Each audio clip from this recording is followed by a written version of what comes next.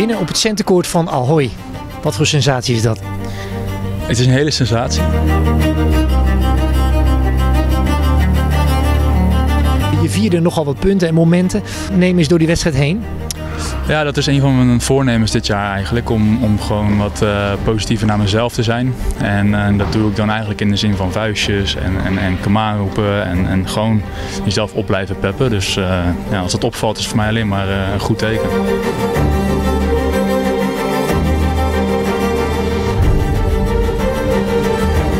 Nog een leuk nieuwtje vandaag voor mensen die een beetje om zich heen keken. Je, volgens mij was je hier met een nieuwe coach. Klopt, ja, het gaat hier snel door de gang, uh, merk ik al. Uh, maar dit is eigenlijk de eerste dag dat we samenwerken met Igor Sijsling.